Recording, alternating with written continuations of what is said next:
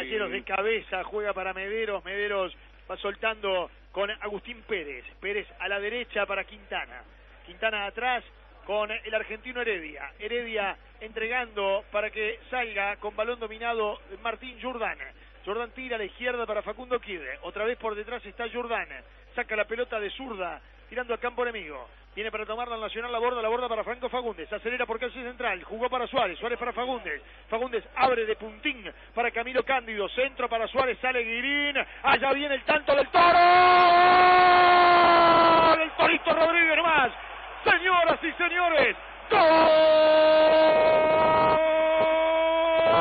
Gol de Nacional. Diego Rodríguez.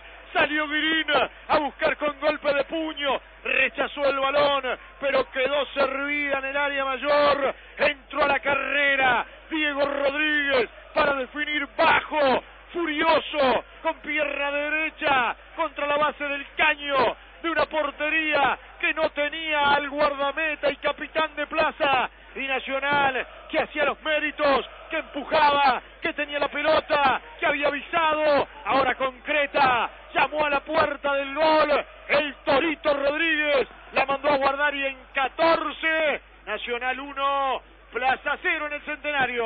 Todo lo comenzó Fagundes, con un arranque desde la zona media del mediocampo de Plaza, se la jugó para Suárez, salió allí el arquero para despejar con el puño y salió la pelota donde no ir nunca, impulsada por un defensa, hacia el medio. Venía el Rodríguez, le pegó como venía, muy bien, fuerte, bajo, sobre el parante derecho, Nacional de ventaja, estaba buscándolo. Una muy linda jugada colectiva de Nacional que arrancó con Fagundes, con un toque soberbio de Suárez para devolver de primera.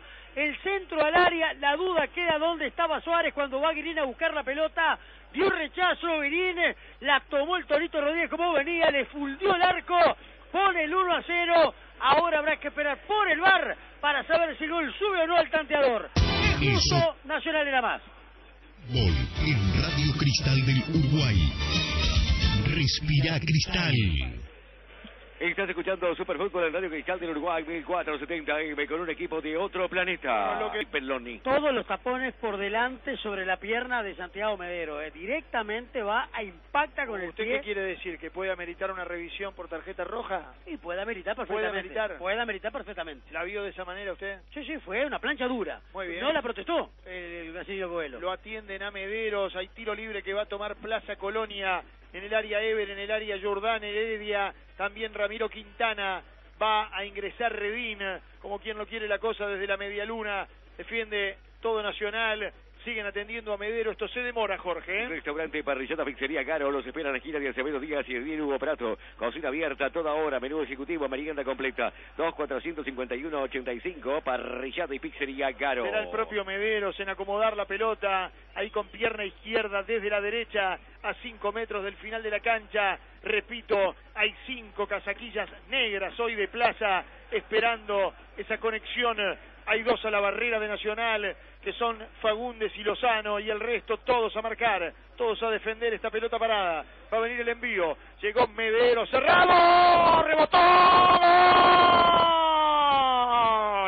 ¡Gol! ¡Gol de Plaza Colonia! Un envío ejecutado de manera magnífica por Mederos. La pelota la peinaron en el primer palo por Évere y descolocó a Roget y Redín. En definitiva, el número 20 para mí es el que termina empujándola prácticamente en la raya de gol. Con el muslo, con el abdomen, vale igual. Lo festeja el conjunto coloniense. Lo empata Plaza a los 24 en la primera llegada sobre el arco del chino Rochet.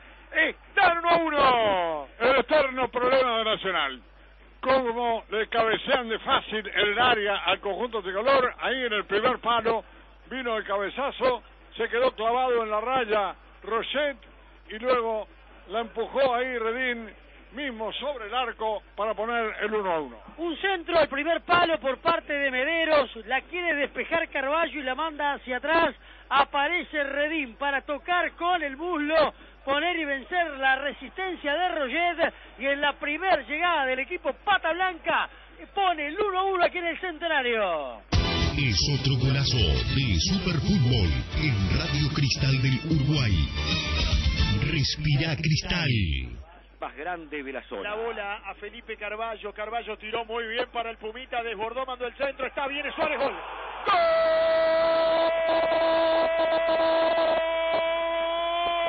Gol de Nacional. Suárez.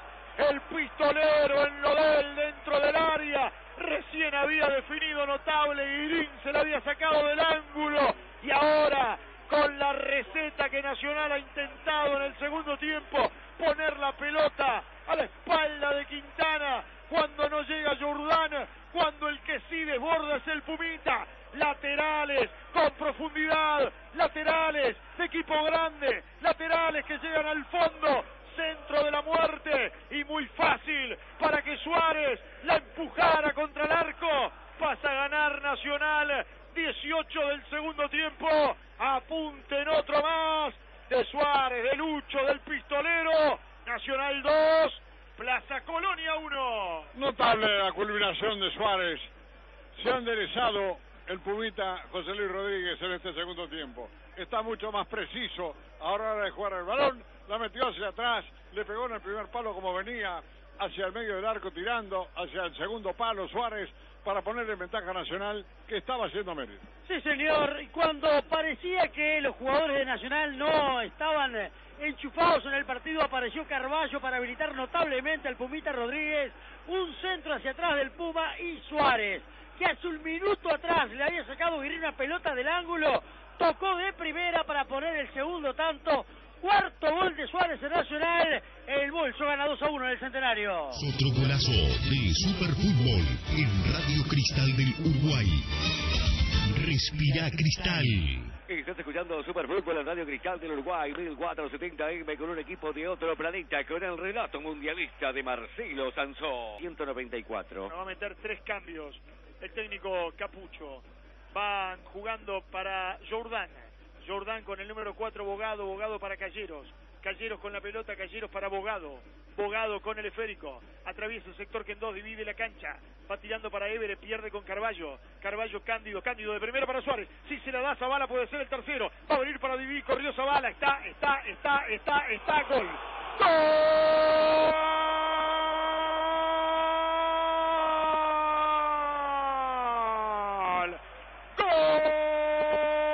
¡Gol de Nacional Zavala! Si Suárez jugaba para Zavala era el tercero, estaba en la tapa del libro.